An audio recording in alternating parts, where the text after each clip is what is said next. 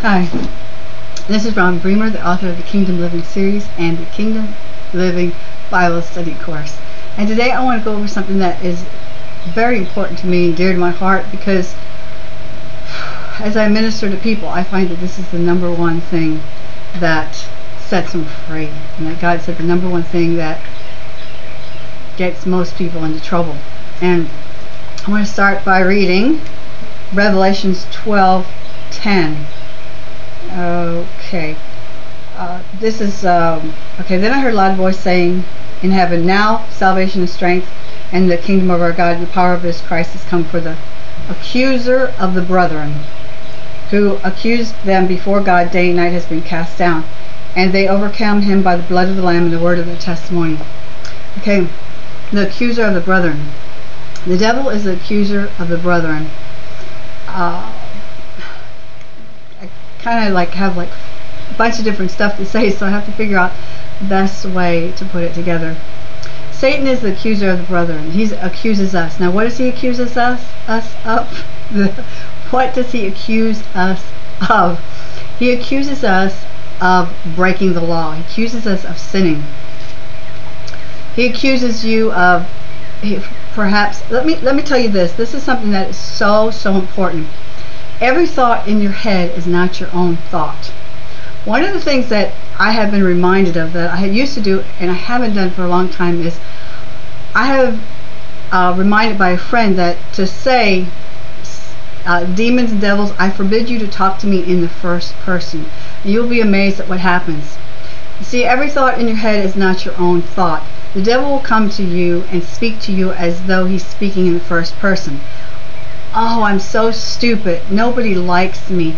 I don't know why I keep doing that. I'm so dumb. I'm so irresponsible. I'm so lazy. That's not you. That's not your voice. You think it's your voice because it's I. But it's really the devil putting thoughts in your head. He's not going to come to you and he's not going to say things like, you this and you that because you'd recognize his voice. He's going to come to you and he's going to speak to you in the first person. So one of the first things I recommend you doing is to cast down that imagination. Satan, devil, I forbid you to speak to me in the first person. Because he's going to speak to you because that is the realm where he lives. Uh, in the spirit realm and speaking to your mind, uh, your body. He can't read your mind, but he has been around for thousands of years and he knows the rhythms and the patterns, the thinking patterns of people. And he knows he familiar spirits hang out with you. They know your patterns of thinking because of what you do and what you speak out of your mouth. So, number one, do that. S say that you forbid demons and demonic to speak to you in the first person ever. And you'll find out it's really funny because sometimes they'll say, you this, and it's like, aha, I know my father's voice and another voice I will not follow. You are not allowed to speak to me in the first person. And I know that that's you speaking, so I command, I won't take that thought, I command that thought to go in Jesus' name. And it kind of is funny sometimes because after a while you begin to realize that it's not your voice and it's so much easier to do a battle when you know what you're battling and you know who you're battling and you know the strategy of the enemy.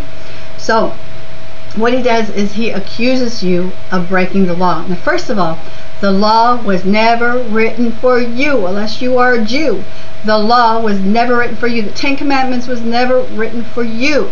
It was written for the Jews and the law was written because they got so bad they needed they wanted a king they wanted rules so God gave it to them okay? So the laws were written for the Jews okay?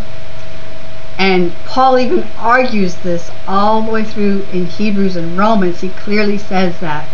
And I will go I'll go over that in all a lot of my videos on my website and a lot more that I'm going to be doing. So the law was never meant for you unless you're a Jew and when you're born again, you are born again into the family of God. And God says in Isaiah that he will put he will make a new covenant with them, and this new covenant is all about the Holy Spirit and the words of your mouth. And that he will not hold anything against you no more. He will not hold your sin against you no more because he poured out all his wrath and all judgment against Jesus because Jesus took all of our sins. Now you can't say that Jesus took all of our sins from the day, you know, up until the time we were born again because When Jesus carried all of our sins on the cross, none of us were even born yet. It was 2,000 years ago, so all of our sins were in the future. When Jesus died for our sins, he looked down, he saw every sin that you would ever commit, and he died for all your sins. And then God poured all his wrath, his anger, and his judgment on Jesus. That's why Jesus took every sickness and every disease, because that's the result of our sin and the fall. That's why salvation and healing are one package.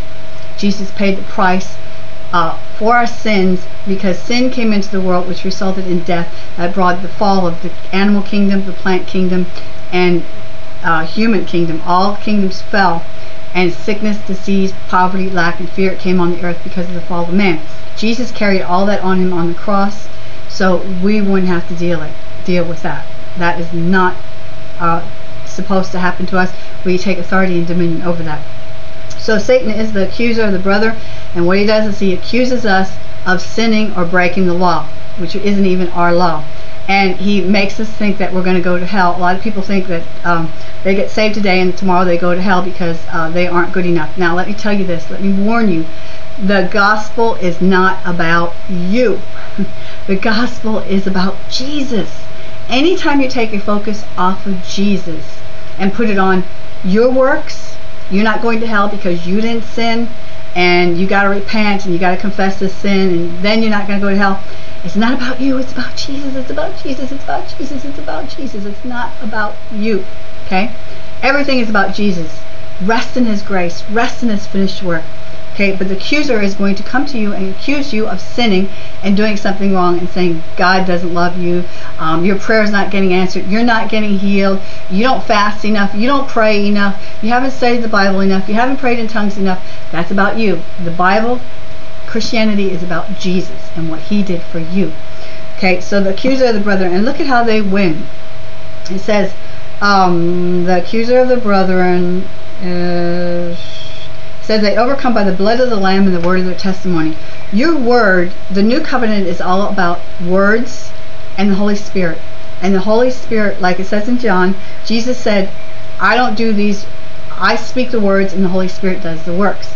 So, same thing with you. In you, you speak God's words, you agree with God, and the Holy Spirit does it. My nose itches, sorry. Okay. Um, so that is what the new covenant is about. Your words that agree with God and the Holy Spirit doing them. So, don't let the accuser accuse you. Don't receive his accusation. Don't believe you're going to hell because you messed up once or twice or a million times.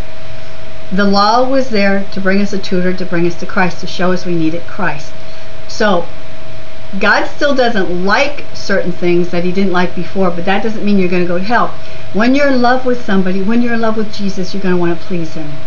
When you're in love with your spouse, you're going to want to please him. The same thing here you want to please Jesus because you love him so much and he loves you and it's so wonderful. And you can love because Jesus loves you. You can forgive because God forgave you. Okay, so it comes in a big circle. It's about what Jesus did for you. It's not about what you have to do to stay safe. You do the things that you do because you love Jesus. It's you you pray, you speak in tongues, you fast, you you read the Bible because it's the fruit of being in love with Jesus. It's not the root. It's not the root of what you have to do to stay saved or get saved. It's the fruit. Okay? So I just want you to remember that. My name is Robin Bremer. .net is my website. Check it out, and I'll talk to you tomorrow.